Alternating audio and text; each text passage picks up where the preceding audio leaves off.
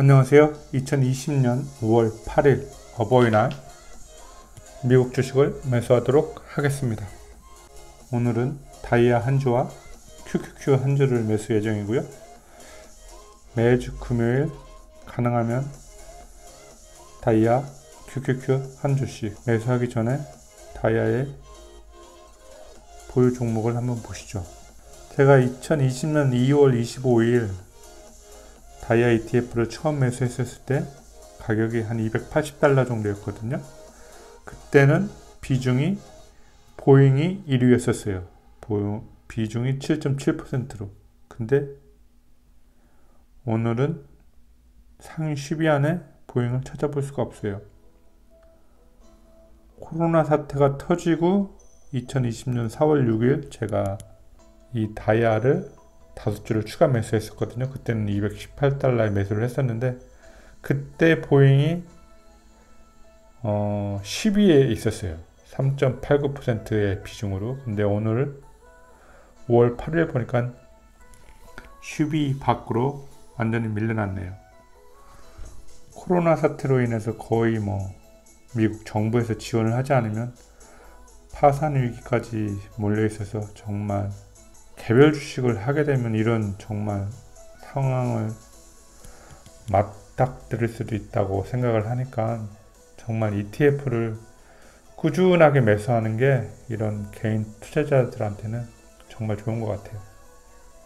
사실 공부할 필요도 없어요. 꾸준하게 다우지수 ETF, DIA와 나스닥에 상장되어 있는 우량주로 구성된 QQQ를 매주 금요일 여력이 되면 각 1주씩 꾸준하게 매수해서 수익률이 어떻게 되는지 보여드리도록 하겠습니다.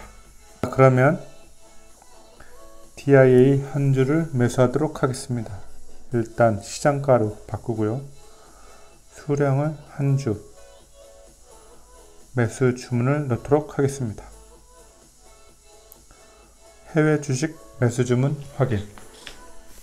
다이아 맞죠? 환율이 1225원이네.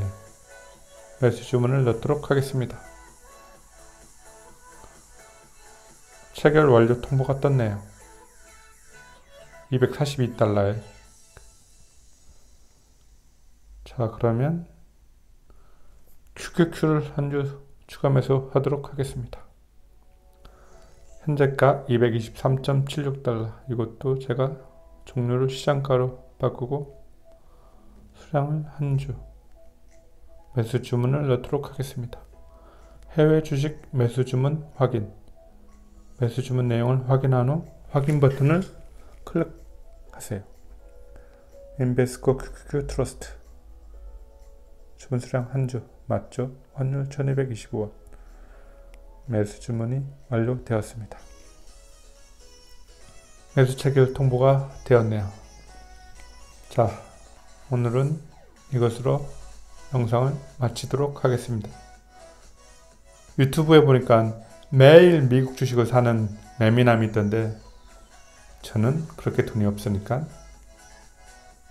매주 금요일 주식을 사서 영상을 남기도록 하겠습니다. 다음에 다시 만나요. 안녕.